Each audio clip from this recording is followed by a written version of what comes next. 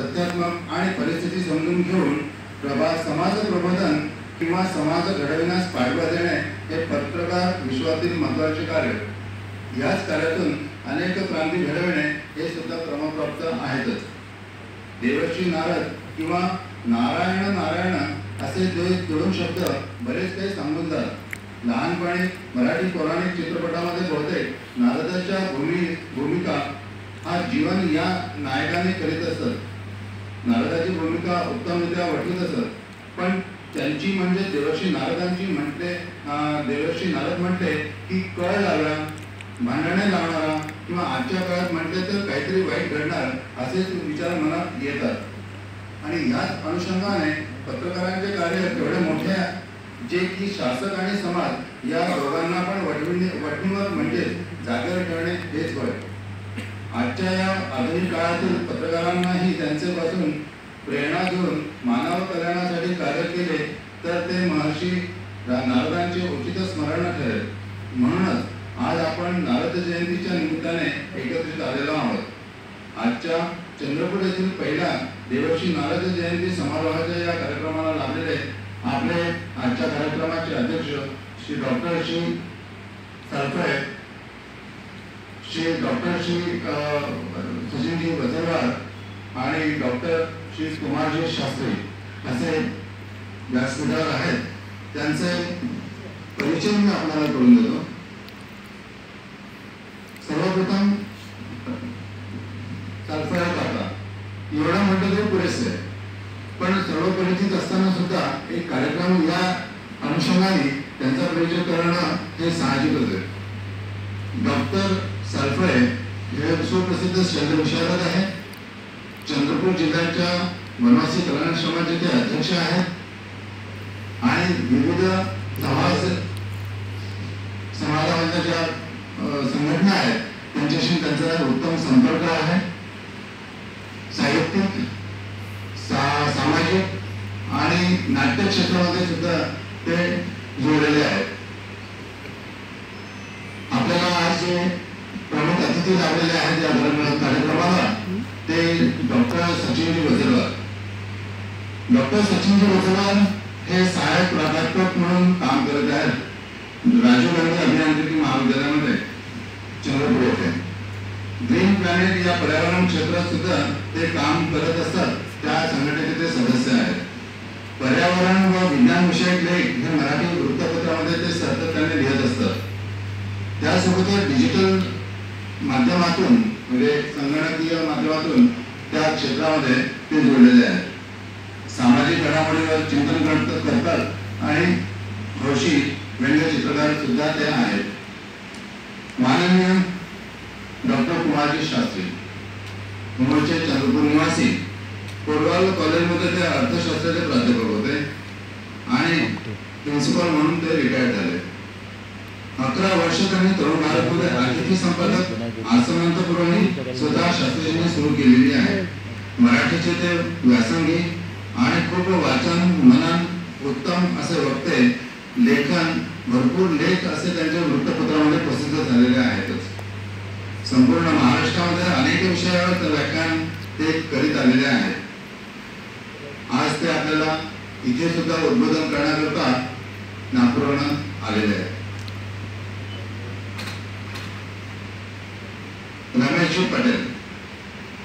चंद्रपूर जिल्हा संपर्क प्रमुख म्हणून त्यांच्याकडे दायित्व आहे तर ते सुद्धा व्यासपीठावर आहे.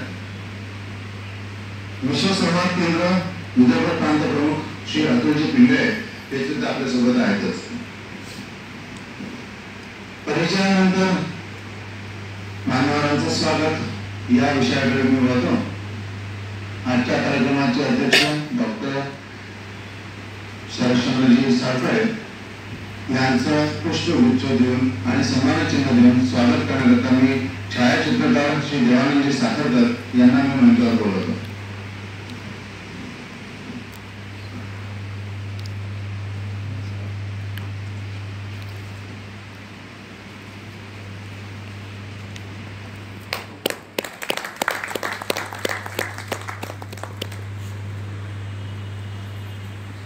आजच्या कार्यक्रमाचे प्रमुख अतिथी डॉक्टर श्री सचिनजी वजरवाड यांचं स्वागत पत्रकार श्री संदीपभाई पाचभाई हे करतील अशी मी त्यांना विनंती करतो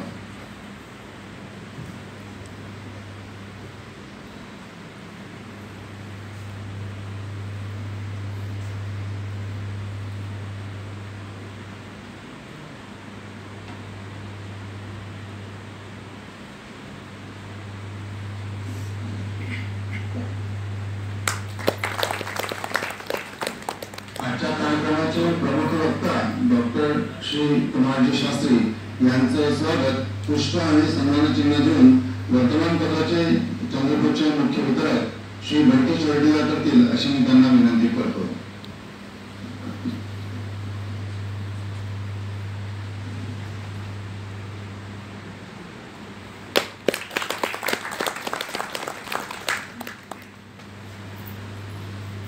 विश्व संवाद केंद्र विदर्भ प्रांत प्रमुख नागपूर. श्री अतुलजी पिंगळे यांचं स्वागत लोकसत्ताचे जिल्हा प्रतिनिधी श्री रवीजी जुनारकर करतील अशी मी त्यांना विनंती करतो.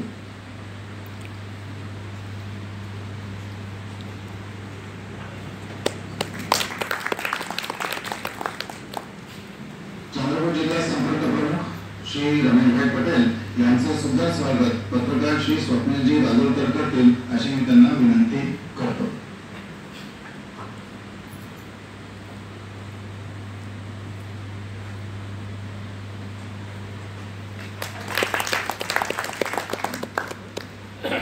आजचा हा कार्यक्रम मुळातच पत्रकारांकरता आहे तर त्यामुळे त्या पत्रकारांमध्ये आजच्या कार्यक्रमाच्या अनुषंगाने जी संजयजी तायडे हे जे अध्यक्ष आहेत चंद्रपूर प्रेस क्लबचे त्यांचा सत्कार श्री कुमार डॉक्टर कुमारजी शास्त्री करतील अशी मी त्यांना विनंती करतो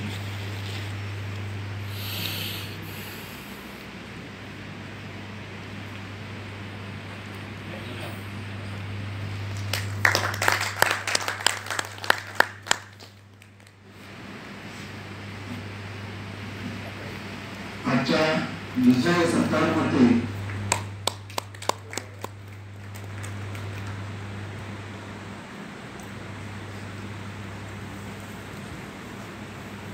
दुसरे सत्तांमध्ये संजय ज्योतिराम हे काही कारणास्तव अनुपस्थित आहे तर त्याच श्रमिक पत्रकार संघाचे जे सचिव आहेत विश्रामजी विघ्नेश्वर यांचं सरकार सत्कार श्री डॉक्टर अल्फाय काका करतील अशी मी त्यांना विनंती करतो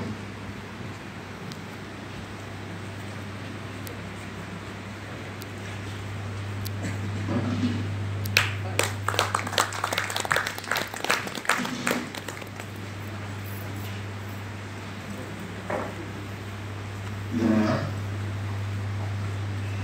बऱ्याच वेळापासून वाट पाहणं चालू आहे आजचा महत्त्वाचा जो कार्यक्रम आहे तो म्हणजे प्रमुख वक्त्याचे भाषण तर मी हा व्यासपीठ मंच किंवा त्यांना तो जबाबदारी पार पाडण्याकरता विनंती करतो.